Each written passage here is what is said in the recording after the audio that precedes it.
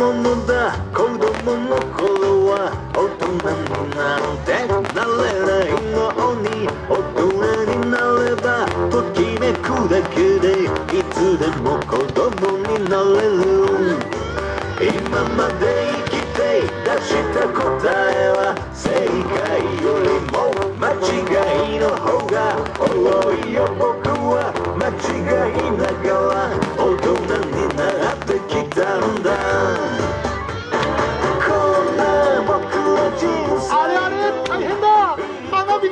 がおかしくなってきちゃった。困ったな。こんな時にドラえもんがいたらな。そうだ。みんなでドラえもんを呼ぼう。大きな声で呼べば絶対に来てくれるよ。行くよみんな。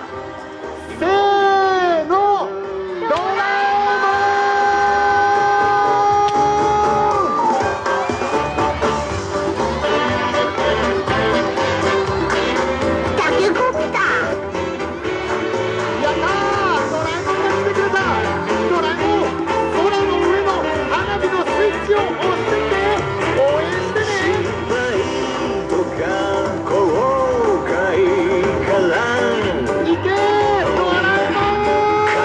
することを学んだ。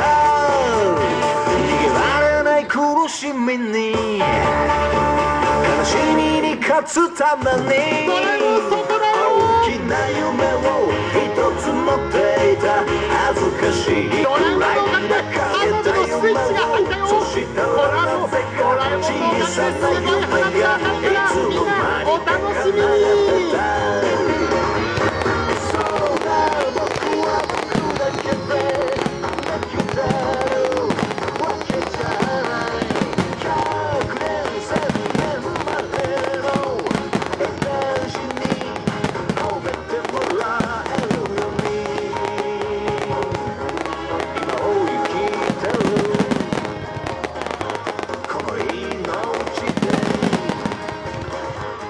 今を生きてる